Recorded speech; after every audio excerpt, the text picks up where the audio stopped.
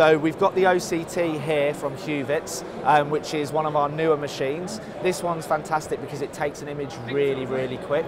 Also has fundus imaging inside as well and has the computer all built in training people on this, it takes 30 seconds to train someone, it takes 20 seconds to take an image. OCT is a, a, crowded market at the moment, everyone's got one, but we've got a different option for them. It's quick and it's easy to use. The final new thing we've got is the IC200, which is the new iCare tonometer, which allows you to take a measurement, a pressure measurement from anywhere from standing up to sitting down to lying down. So all sorts of patients can be used uh, on the iCare IC200. So domiciliary, you get people that you aren't able to get in the upright position. It's, it can be uh, very difficult. Now you can go and see them in their home. They may be on a, a reclined chair slightly, and you don't need to worry about disturbing them too much. You can take the measurement straight away, accurate, quick and easy. And the IC200 uses the same rebound technology. It magnetizes the probe in the same way the IC100 does, uses the same probe as well as the IC100 so if you have two of the tonometers in your practice,